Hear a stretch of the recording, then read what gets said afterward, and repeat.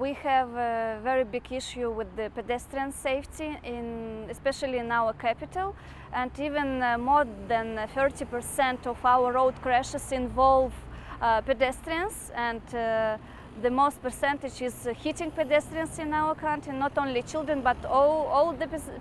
pedestrians. Uh, that's why uh, we need uh, maybe more enforcement and uh, awareness and uh, uh, teaching our pedestrians how to be more educated even because we have drivers who want to, to drive their own route and we have pedestrians who wants to cross